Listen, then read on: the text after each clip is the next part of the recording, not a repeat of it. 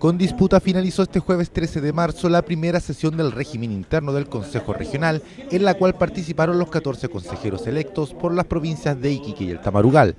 Esto a raíz de que los representantes de la alianza acusaron a los de Fuerza del Norte de imponer sus condiciones para obtener buenos dividendos, pues una de las comisiones más apreciadas, como es infraestructura, quedó en manos del consejero Jorge Soria Maquiavelo sin que haya habido un acuerdo.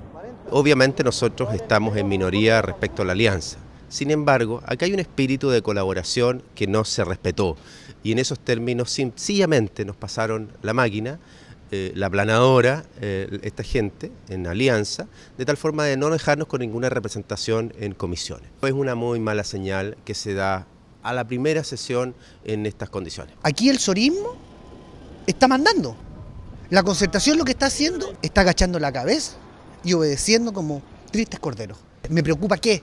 No me preocupa una comisión más, una comisión menos. Me preocupa que efectivamente los proyectos sean votados con el respaldo de la ciudadanía, no por grupos de presión donde los otros se sienten atemorizados.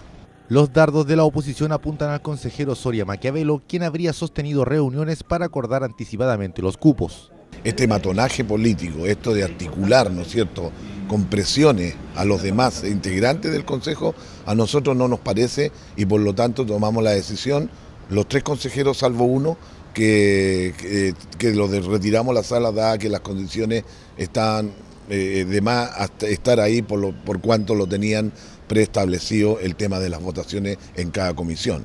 Desde el Sorismo y la nueva mayoría explicaron que es normal la adjudicación de comisiones cuando dentro del Consejo 10 autoridades llegan a consenso. Yo sostuve reuniones hace tres días atrás con miembros de la concertación, con los consejeros elegidos de la concertación, y si llegamos a un acuerdo político ¿por qué no vamos a llevarlo a cabo? O sea, ¿por qué deberíamos hacerlo con ellos el acuerdo si no integramos ningún pacto con ellos? Esto es de pacto, esto es de acuerdos políticos. Según Soria, la oposición se ha equivocado en sus afirmaciones y aquí no hay nada de antidemocrático. Nosotros somos 10, o sea, 4 más 4 son 8, o sea, somos sobre el 100%, el 100 más el 50 que está integrando esta mesa. Entonces, no nos digan a nosotros eh, antidemócratas, acá estamos representando los intereses de la ciudadanía. Era, eh, era esperable esto, era obviamente si habíamos eh, cinco ¿verdad? consejeros regionales de los 14 de la nueva mayoría, más cuatro de Fuerza del Norte que fueron y trabajaron con nosotros la campaña para presidencial por Michelle Bachelet, ¿verdad? Eh, además de Rosana Viguera, que obviamente es más afín, era obvio que íbamos a tener la mayor posibilidad de llegar a un acuerdo, ¿verdad? a una mancomunión, estos 10 consejeros regionales, que fue lo que en definitiva pasó.